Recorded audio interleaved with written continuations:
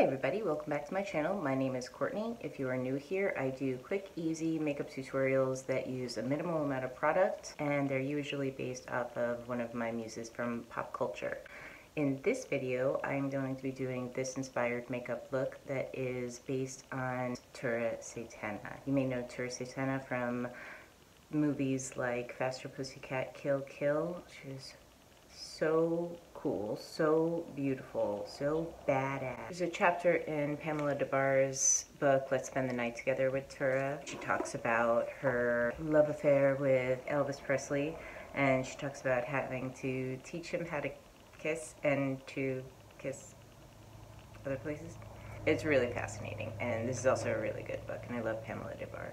If you want to check that out, I'll link a, I'll link a link in the description below. Tura Satana. Mm-hmm. If you've never seen Faster Pussycat Kill Kill, highly recommend. If you want to see it for free, you can see it on right here on YouTube. If you would like to see more videos like this, please like and subscribe. I will link some articles on Tura Satana and I list all the products that I use in the description box. Let's get started. I always go in with SPF first. Prisma FX, Niacinamide in gold. I'm just putting a little bit on my fingertips because I'm just going to apply it to the highlights of my face before my foundation. Because the foundation that I'm using is very, well, I'm going to make it very sheer. So this will pop through. Chanel Vitalumiere in Clair 20. I'm going to mix a little dab of that with the Danessa Myricks Beauty Oil. A very little amount. This will sheer out the foundation, just give you a veil of coverage and a beautiful dewy look. The less coverage you start out with, the less texture that will build up on your skin. So it won't look like you're wearing foundation. I don't really do my forehead because I wear bangs, so not necessary. Mixing the Juvia's Place in Manila with the Shape Tape in 12N. And just with my ring fingers, I'm just going to brighten under the eyes, down the bridge of the nose, around the nostrils. This just helps to brighten a little bit. Has a little bit more coverage, so it gives the illusion that you have a more perfected look without building coverage all over the face. With a tiny brush, I'm going to take that same mixture and just apply it to where it's darkest So by keeping that heavier coverage concentrated, again, you're not building up too much texture all over the face. This is also really good for acne if you just have little spots. Just go in with a small brush and apply it so that you want more coverage. Around the nostrils, down these lines right here, you can just add a little bit more just to brighten. I'm just going to define my brows a little bit Uh, the Fenty Butter Biscuit and small fluffy brush. Just going to add a little bit of contour. I don't want too much, I just want to shape the face a little. Same brush, I'm just applying a light pink to the apples. It can be any light pink that you like or any light natural blush.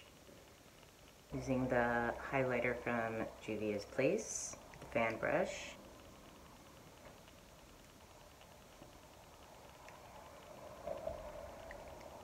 Charlotte Tilbury in Fair. I'm going to powder very gently a little bit under the eyes. That'll help to prevent the concealer from creasing. And I want to keep the skin glowy, but in certain areas, like you don't need the skin glowy, like here, here, here, and like right there. Everywhere else you can keep glow.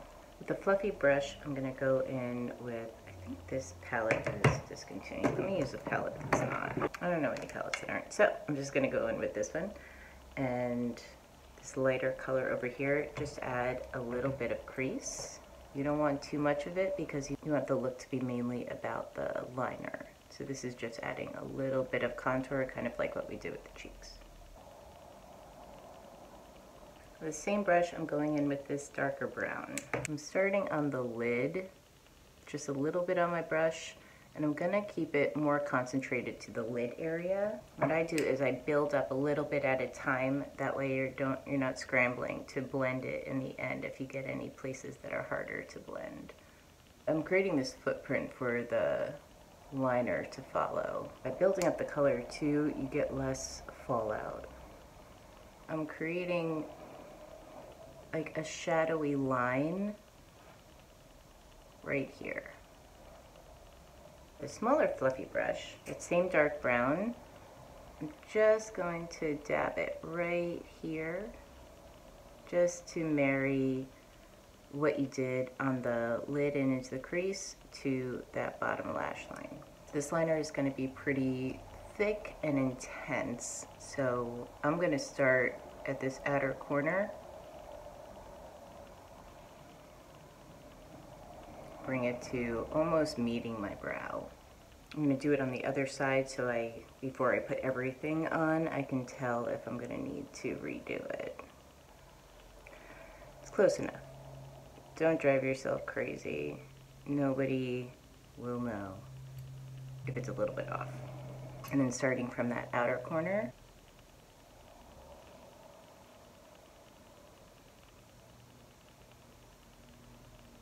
start bringing it onto the lid. Then you can start filling in from the lash line. Starting from the inner corner, you want it to be a little bit thinner going from a thin line to the thicker line. Now I'm going to go back in with that dark brown again. And I'm just going to run it right along the liner.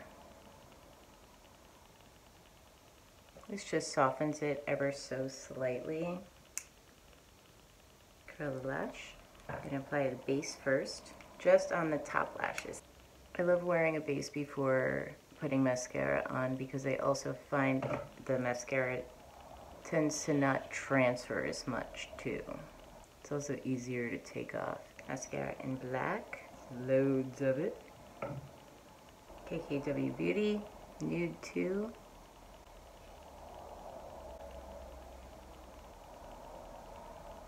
Maybelline Lifter Gloss. This is the color Amber. Danessa Myricks Duet. Just putting that on my ring finger and pressing that into the highlight. This will give a beautiful dewy wet look. Alright, so that is my makeup look inspired by the amazing Tana. Thank you guys so much for watching all the way through to the end. Please let me know in the comments below if you liked this video and if you are going to try this liner out yourself. I'd love to hear about it. Please subscribe if you'd like to see more tutorials like this. I will see you in my next video. Bye.